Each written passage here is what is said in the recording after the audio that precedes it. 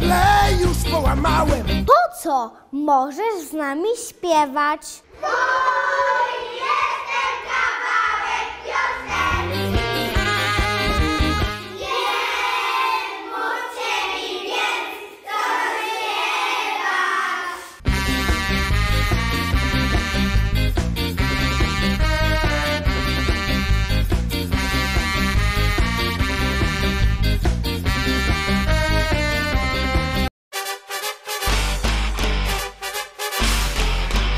Piąty Festiwal Piosenki Wakacyjnej.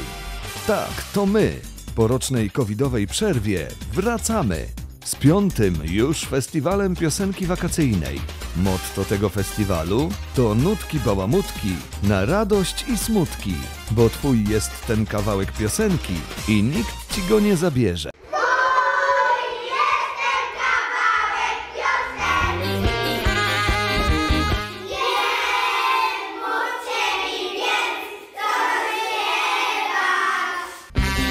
Organizatorami festiwalu są Przedszkole nr 19 w Tomaszowie Mazowieckim, lokalna telewizja Teleteam TV oraz Miejskie Centrum Kultury.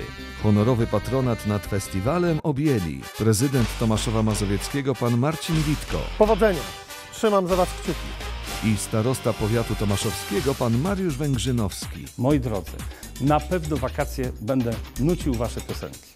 Młodych wykonawców oceniać będzie profesjonalne jury w składzie dyrektor Miejskiego Centrum Kultury pan Jacek Paprocki, trener wokalny Beata Niedzielska, muzyk Kamil Wrona oraz wiceprezydent Tomaszowa Mazowieckiego Izabela Śliwińska. Dla wszystkich uczestników przewidziane są atrakcyjne nagrody niespodzianki, innymi lody z wiceprezydent miasta panią Izabelą Śliwińską oraz wycieczka do zoo z panem starostą.